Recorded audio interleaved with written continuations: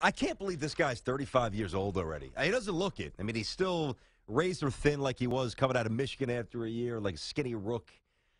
Still not afraid to take a big shot. Makes a lot of them. But man, he's 35. We're getting old. Jamal Crawford, two-time Six Man of the Year winner, and he's with us here on Tiki and Tierney. What's happening, JC? How you doing? Good, man. Where you been, buddy? You been hiding on us? What's going on? I know hiding in L.A. Right, trying to trying to stay low key out this place. How are you 35? Seriously, I mean, it, I, I don't know. I started wow. after 21. Do you feel 35? No, not at all. Nice. Not at all. It's just I, I I'm always in shape. I'm always playing basketball year round. You know, so for me, it's easy. I just kind of keep flowing. It's not like I take time off and then try to get back into it, and that's when I think it's tougher on your body and you see injuries start to happen.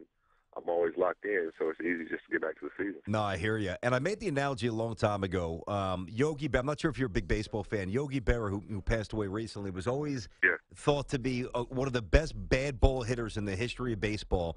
And I've always looked at you as one of the great bad shot makers in the history of baseball. So many times you put something up, and I'm obviously seen it with the Knicks. I'm kind of used to it, you know, so, and it's part of your game.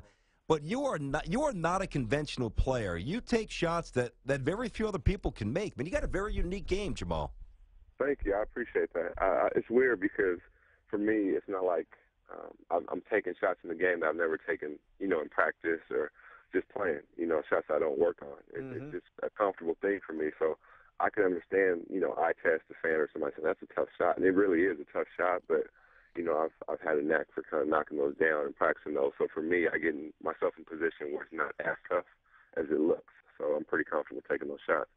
You know, Jamal, I think I saw you last. You guys were staying at the Four Seasons, I believe, and you were at a restaurant behind it. I can't remember what restaurant it was, but I ran into you, and I remember asking you, like, the secret to your longevity has been one, you've you've stayed healthy, as BT was talking about, but two, you've embraced a role that some people would say that's not my role. I want to be the man, but you've embraced being the six man. You've been six man of the year a couple of times.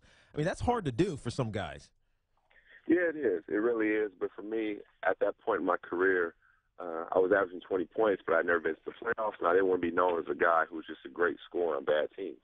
You know, so I ended up getting traded to Atlanta, and at that time, they had their starting five in place for like three or four years. Had been to the playoffs a couple of times. And I said, you know what? I don't care. I'll, I'll still have an effect. I'll come off the bench, no problem. You know, I think it's a weapon when you can have a guy who averages 20 points come off your bench. You know, if you look at all the championship contenders uh, in the past with San Antonio, they've always had Ginobili come off the bench, or you know, with OKC, they had Harden come off the bench. You kind of need that guy that uh, doesn't have the ego, is really thinking about the team, and, and you know, when the starters come out, and the stars come out. There's not a big drop off because you have this guy who comes off the bench Mhm. playing against mostly second units, and I think it kind of keeps the starters fresh, uh, keeps them better towards the end of the games, and I think it gives your team a huge lift. I'm talking to Jamal Crawford, two-time Six Man of the Year winner with the Clippers, and boy, they got a lot going for him. And you guys had an interesting offseason. With- It looked like you lost DeAndre Jordan, then you got him back, and then Lance Stephenson showed up. And Tiki and I were hitting this early in the show, Jamal. I mean, I think that Stephenson is an incredibly gifted player. He's strong. He can defend multiple spots. He can pass, but he's also kind of been a little bit of a loose cannon. How's he fit in so far with the team? You know what? He's been great. It's weird because from afar, you know, I didn't know him besides just playing against him a couple times a year, and that was pretty much it. And you, you know, you like you said, you hear things, you, you kind of see things, but getting him in the locker room, he's actually it's been a pleasant surprise. He's really a fun-loving guy. He's young. You forget how young he is. You know, he's always joking. He's always having a good time, and on the court, he's competitive. He really is. He's not backing down from anybody.